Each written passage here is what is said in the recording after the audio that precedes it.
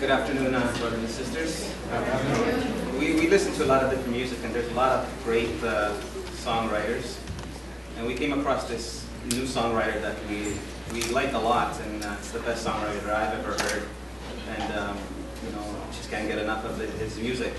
This songwriter is, is King David, and for me, he- he's one of the, the best lyric writers there is. Amen. So we're going to uh, put his lyrics to music and sing it.